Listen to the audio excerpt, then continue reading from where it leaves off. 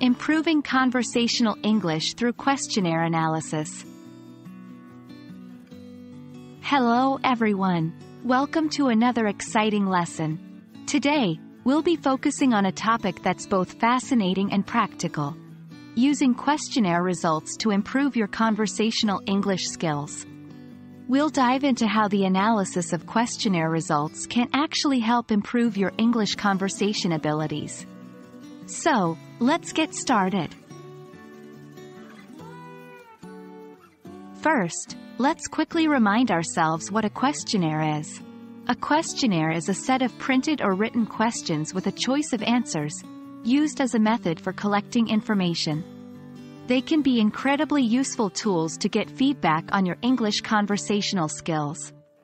After you have conducted a conversation, you can ask your partner to fill out a questionnaire about your performance.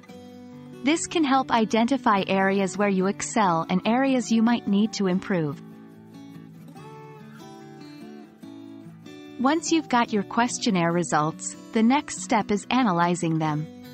Look for trends, areas of strength, and areas where feedback indicates you could improve.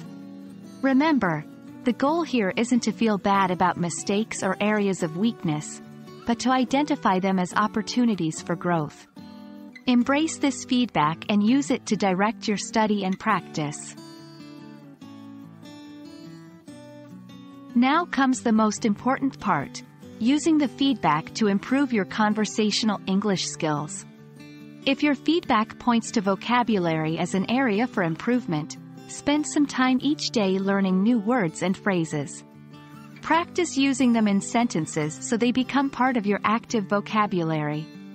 If it's grammar that you need to work on, find exercises and drills to practice those specific areas. If your pronunciation needs improvement, listen to native speakers and repeat what they say. You can find lots of resources online for this, such as podcasts, audiobooks, or language learning apps. Remember, practice is key. The more you use your feedback to guide your study, the more you will improve. After some time practicing, reassess your progress with another conversation and questionnaire. This will help you see the progress you've made and identify new areas for growth. Remember, learning a language is a journey and constant improvement is a sign that you're on the right path. We've come to the end of this lesson. Remember, using questionnaires to gather feedback on your conversational English skills can be a powerful tool for improvement. Don't be afraid of constructive criticism, embrace it and use it as a stepping stone to better your skills. Thank you for joining me today. I hope you found this lesson useful and are excited to apply these techniques to your English learning journey. Keep practicing, and I'll see you in the next video.